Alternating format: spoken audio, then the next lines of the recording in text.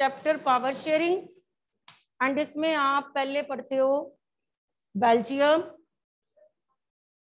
and then about Sri Lanka in this chapter have read about two countries. First is belgium, second sri lanka. Is it clear na पढ़ा हुआ है ना ये सब? Belgium small country of Europe तो Belgium ने follow किया accommodation path ठीक है? Whereas Sri Lankan government followed majoritarianism तो दोनों में फ़र्क था। मेजोटियनिज्म जहाँ पे फॉलो हुआ ना, वहाँ पे झगड़े हुए क्लैशेज हुए सिविल वार तक हुई। जिन्होंने अकोमोडेशन फॉलो किया for example in India our government is following accommodation part in India people of diverse group live but they all live together in a peaceful manner in a same country only because our government has shared its powers with the people of diverse group. So same Belgium has followed which path accommodation path. Belgian leaders shared their powers with the people of diverse group. ठीक है अब आपको यहाँ की ethnic variation पता होनी चाहिए क्योंकि क्वेश्चन जिसने भी बनाने हैं, उसने वन मार्क बनाने हैं। कंट्री पूछ लेंगे कहाँ पे है Belgium small country of Europe किसके साथ इसको कंपेयर किया उन्होंने? हरियाणा स्टेट के साथ। पॉपुलेशन हाफ़ देन हरियाणा बोला उन्होंने वहाँ की पॉपुलेशन वन करोड़ बोली है। इट मीन्स हरियाणा की कितनी हुई फिर? टू करोड़ तो एरिया वाइज उन्होंने हरियाणा से कंपेयर किया मींस बेल्जियम को हरियाणा से कंपेयर किया उन्होंने, ठीक है? अब वहाँ की वहाँ के उन्होंने टू रीजन बताए हैं। Which two region Flemish and Wallonia region इसका मैंने बहुत इजी बताया था आपको कि आप कभी भी गलत नहीं करोगे। एफ़ के साथ एफ़ नहीं मैच करोगे। फ्लैमिश में आप लिखोगे डच वेलोनिया में आप लिखोगे फ्रेंच मींस एफ़ के साथ एफ़ जो अगर आपका एफ़ के साथ एफ़ आ गया, समझ लेना आपने रॉन्ग किया फिर। ठीक है? फ्लैमिश रीजन में डच वेलोनिया रीजन फ्रेंच तो अगर हम कंट्री की बात करें तो कंट्री में जो एथनिक वेरिएशन थी, वो कैसी थी?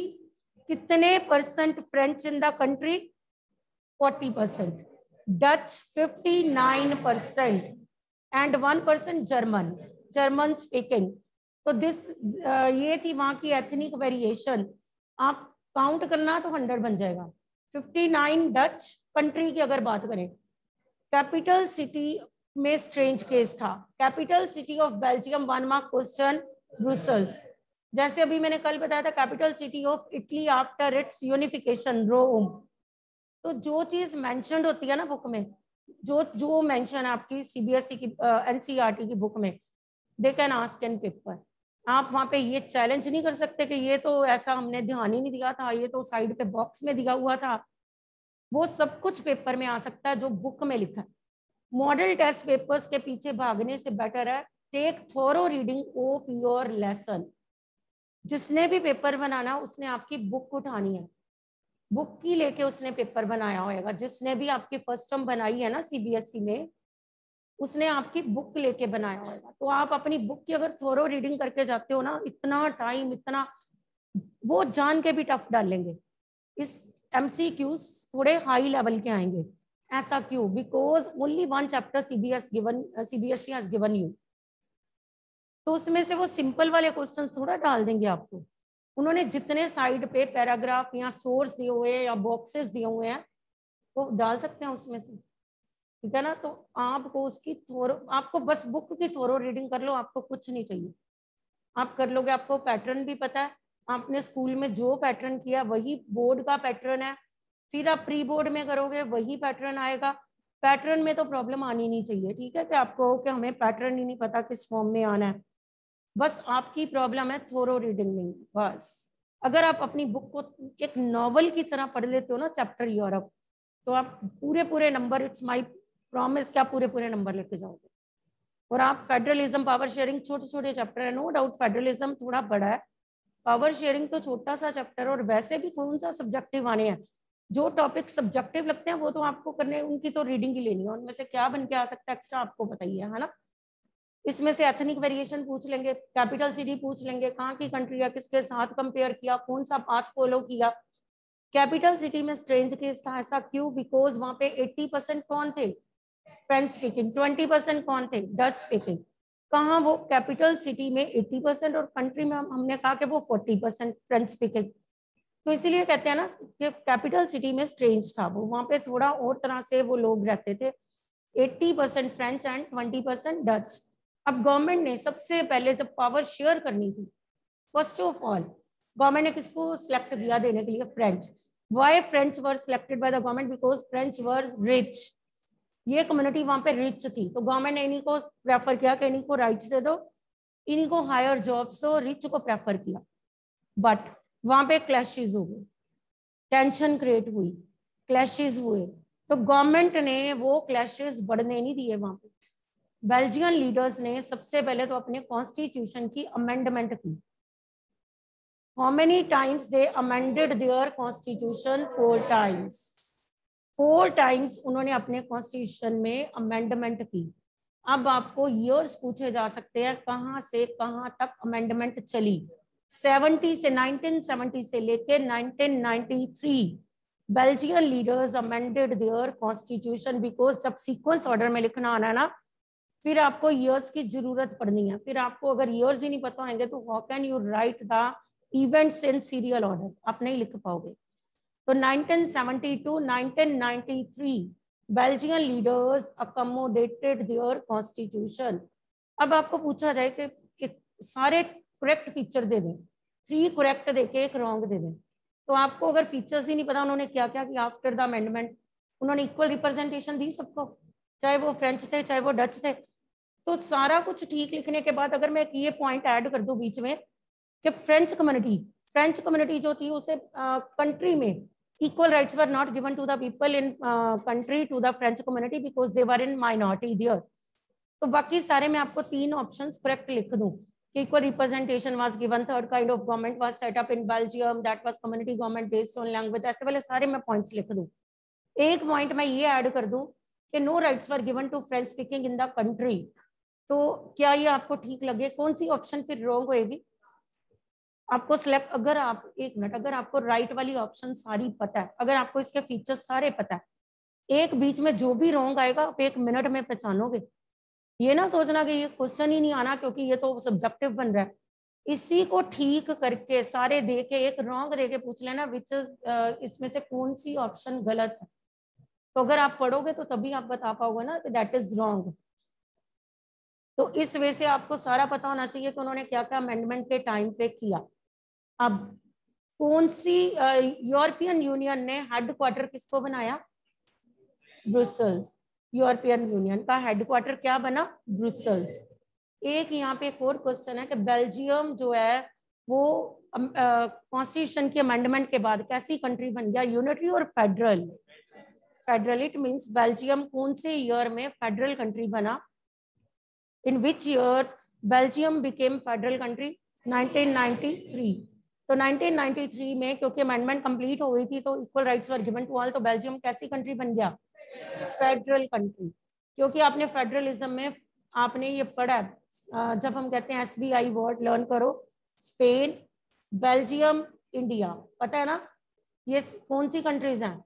Federal country Spain Belgium India ठीक है ना? तो बेल्जियम फेडरल कंट्री बन गया. तो एक तो ये आपका टॉपिक जिसमें से कितने क्वेश्चन वन मार्क बन जाने हैं? अब श्रीलंका श्रीलंका वाइट के अंडर था ब्रिटिश के अंडर था, ठीक है? अगर मैं कहूँ, यहाँ पे रॉन्ग ऑप्शन दे दूँ कि श्रीलंका अफ्रीकन के अंडर था यहाँ श्रीलंका, मैं आपको ऐसे चार ऑप्शन दे दूँ कि श्रीलंका साउथ अमेरिका के अंडर था, या श्रीलंका वाइट्स के अंडर था ब्रिटिश के अंडर वाइट तो श्रीलंका को फ्रीडम कब मिली? 1948 अब एक मिनट, मैं यहाँ पे क्वेश्चन हिस्ट्री का भी मिक्स कर रही हूँ। नेपोलियन की वार्स कब स्टार्ट हुई? अब मैं आपको एक मिनट, चार ऑप्शंस देती हूँ। देखो, आपको समझ आती है। Napoleonic wars Napoli Napoleonic code आए थे 1804 में। बट उसकी वार्स कब स्टार्ट हुई थी? ध्यान से सुनना मेरी options then give answer 1815 1804 1797 and 1812 very good. 1797 क्योंकि आप खुद ही कहते हो नेपोलियन इन्वेडेड इटली इन 1797 ये बॉक्स में दिया हुआ है साइड पे not given in the chapter ये चैप्टर में नहीं है। अगर तभी तो मैंने बोला बॉक्सेस भी पढ़ने हैं। तो नेपोलियन नेपोलियन की बार्स नेपोलियन ने अगर यूरोपियन कंट्रीज़ पे अटैक किए थे तो कौन से ईयर से स्टार्ट हो चुके थे उसके? 1797 1815 में तो वो हारा है। पता है ना? बैटल ऑफ़ वाटरलू में वो हारा है। तो ये चीज़ें आपको दिमाग में रखनी है। नेक्स्ट अगर मैं पूछूँ कि यूरोप में आप कौन सी सेंचुरी पढ़ते हो? सिक्सटीन पढ़ते हो फोर्टीन पढ़ते हो कि नाइनटीन सेंचुरी पढ़ते हो? नाइनटीन हर जगह तो हम कहते हैं कि nineteen century nineteen eighteen forty eight से तो लेसन स्टार्ट हो रहा है आपका फ्रेडरिक सोरियो के फोर फ्रेंड्स पता है ना? तो हम कौन सी सेंचुरी पढ़ रहे हैं उसमें? नाइनटीन सेंचुरी की बात करते हैं। तो चलो, अभी आप आ जाओ इस पे। श्रीलंका गोट फ्रीडम इन 1948 1948 में श्रीलंका को फ्रीडम मिली। अब श्रीलंकन गवर्नमेंट जो थी, उसने एक एक्ट पास किया। In which year Sri Lankan government pass an act 1956 1956 में श्रीलंकन गवर्नमेंट ने एक एक्ट पास किया। अब श्रीलंका वालों ने कौन सा पाथ अडॉप्ट किया? मेजोरियनिज्म मेजोटियनिज्म में उन्होंने किसको डोमिनेट किया? माइनॉरिटी श्रीलंका की एथनिक वेरी वहाँ की वहाँ पे भी डाइवर्स ग्रुप के लोग थे। 74 परसेंट कौन थे? सिन्हाला स्पीकर सिन्हाला लैंग्वेज है। एंड फिर वहाँ पे 18 परसेंट कौन थे? Tamil. Tamil were further divided into two parts Indian Tamil कितने percent five Sri Lankan Tamil thirteen seven percent कौन? क्रिश्चियंस वन परसेंट मुस्लिम्स तो आपको यही पूछा जाए कि मुस्लिम इन श्रीलंका और नीचे आपको ऑप्शंस में पूछा जाए seventy four one percent seven percent eighteen percent Indian Tamils in Sri Lanka तो वहाँ पे आपको फिर खुद देखना है इंडियन तमिल्स एटीन परसेंट ना कर देना कहीं वो तमिल्स है।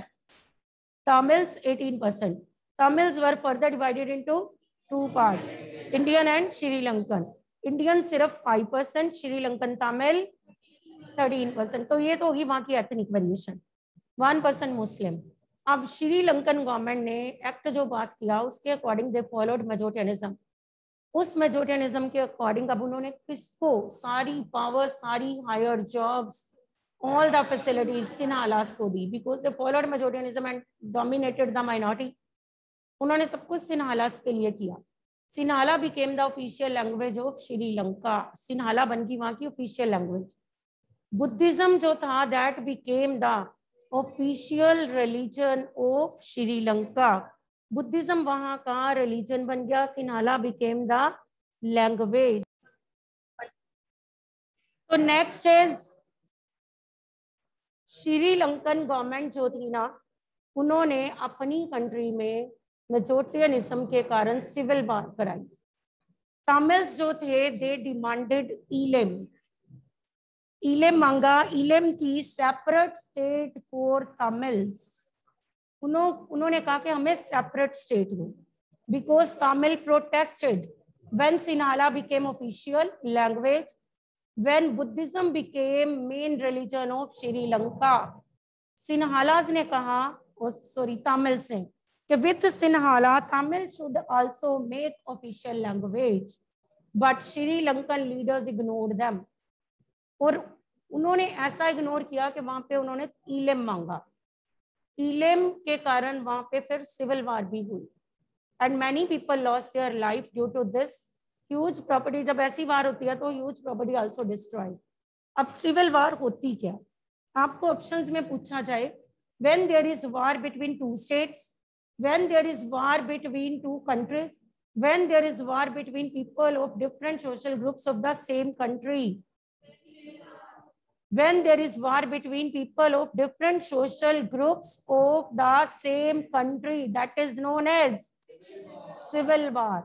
तो ये क्वेश्चंस आपके पावर शेयरिंग चैप्टर में से कितने सारे क्वेश्चंस बन रहे हैं and you have to learn the ethnic variation you have to learn the path you have to learn the capital city किसके साथ कंपेयर किया बेल्जियम को, और साथ में you have to learn the years which are given in these two topics for example Belgium में दिया हुआ है 1970 टू 1993 श्रीलंका में टू बार टू इयर्स दिए हुए हैं फॉर एग्ज़ाम्पल फ्रीडम का 48 एंड एक्ट 56 तो ये सारा आपको लर्न करना है।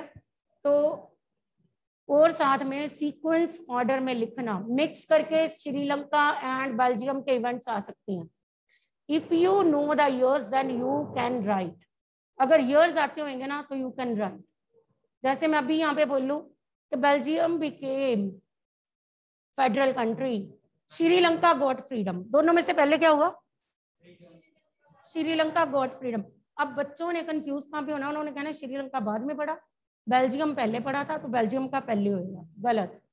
For this you have to learn क्या लर्न करने हैं? Years